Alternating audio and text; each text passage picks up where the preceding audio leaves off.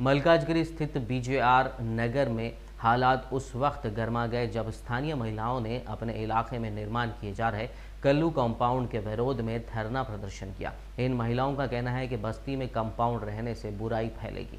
उन्होंने कल्लू कंपाउंड में तोड़फोड़ करते हुए कल्लू कंपाउंड को शीघ्र ही बंद करने की मांग की। చాలా బాధపడ్డాం చాలా ఇది చేసినాము ఏరియాకి వచ్చి కూడా మేము ఇది చేసుకున్నాము. మా ఇంట్లో దొంగలు పడ్డారు సామాను బంగారం అంతా దోసుకుపోయారు. బాధ పడి పడి పడి పడి జర మంచిగా అయినాం. నాకు ఆడవీళ్ళ మన్మరాన్లు ఉన్నారు.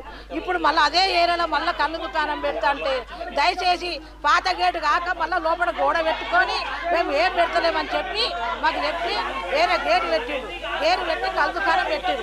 దయచేసి కళ్ళు దుకాణం వద్దండి మా పిల్లలు లేకపోతే మనం ఏం చేస్తారో చేయండి మాకు అందరికి ఆడపిల్లలు ఉన్నారు. మేము ఇప్పటికీ ఇంత ముందుకు తాగి వచ్చి మా అరుల మీద వన్నారు మేము పట్టుకున్నాము వాళ్ళని కొట్టినాము చేసినాము.